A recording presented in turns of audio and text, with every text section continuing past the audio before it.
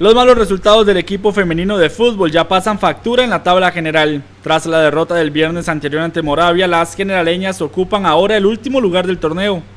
La más reciente derrota se la propinó Moravia con un contundente marcador de 5 a 1, dejando a las moravianas líderes del certamen y a las generaleñas en el fondo.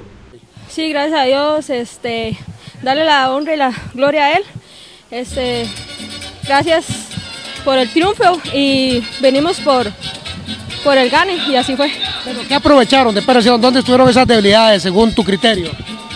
Eh, la velocidad de nuestra compañera, ¿verdad? Eh, las bandas, este, hubo mucha profundidad y ahí fue donde pudimos eh, este, sacar el resultado. No, la verdad que, estamos contentas, este, motivadas. Eh, veníamos de perder también con un gran rival y, bueno, había que sacar la cara. Este, también venir acá no es, no es nada fácil, el clima, la cancha, inclusive la afición, que siempre que hemos venido las han estado apoyando y eso es bueno. Y es algo que también juega a favor de ellos y, claramente en contra de nosotros y eso es lo que también venimos a jugar.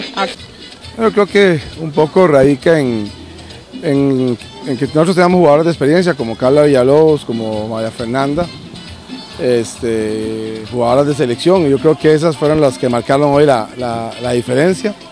Eh, nosotros tenemos eh, seis jugadoras lesionadas en este momento y la, verdad que nos ha costado un poco en los últimos partidos eh, conformar el 11, pero bueno, yo creo que con voluntad hoy, con, con esfuerzo, el equipo logró sacar este partido que es importante para mantenernos en en la primera posición.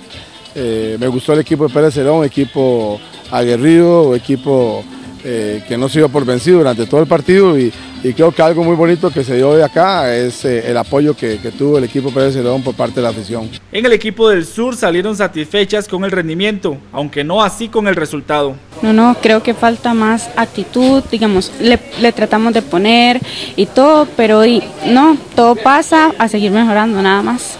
¿Qué, se dice dentro del grupo? ¿Cómo, ¿Cómo sienten este ambiente ahorita, ya casi concluyendo la primera vuelta y estando en el sótano?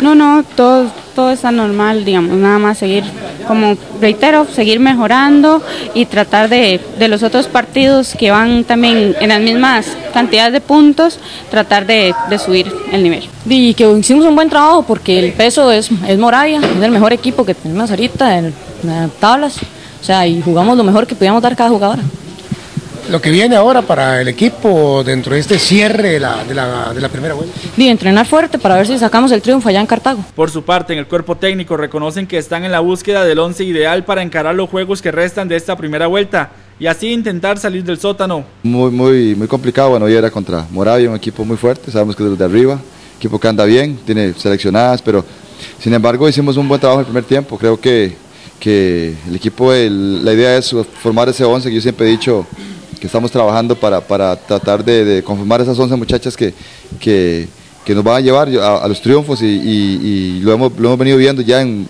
ráfagas, pero sí, es todo es trabajo, Noel, yo pienso que el fútbol es mucho trabajo.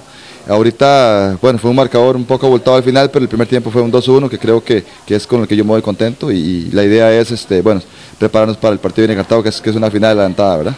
Las generaleñas son últimas del torneo con un punto, tres menos que Heredia y también Cartago.